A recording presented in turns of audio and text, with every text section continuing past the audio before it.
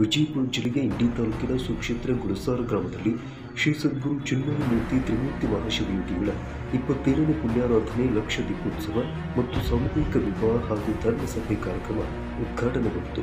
ಸಸಿಗೆ ನೀರು ಉಣಿಸುವ ಮುಖಾಂತರ ಶ್ರೀ ಸಾವಿರದ ಎಂಟು ಜಗದ್ಗುರು ಡಾಕ್ಟರ್ ಚನ್ನಸಿದ್ದರಾಮ ಪಂಡಿತಾರಾಧ್ಯ ಶಿವಾಚಾರ್ಯರು ಭಗವತ್ಪಾದರ ಶ್ರೀಶೈಲ ಮಹಾಪೀಠದ ಜಗದ್ಗುರುಗಳು ಚಾಲನೆ ಕೊಟ್ಟು ಆಶೀರ್ವಚನ ನೀಡಿದರು. ನಂತರ ಇಪ್ಪತ್ತೇಳು ನವಜೋಡಿಗಳಿಗೆ ಶುಭ ಹಾರೈಸಿದರು.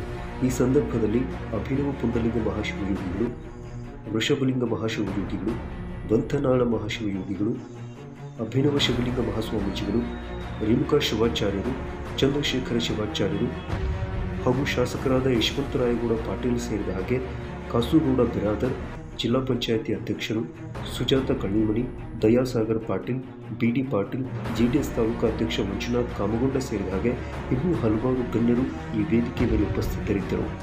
B S Hosur, Navakarnataka Times, Vijayapura.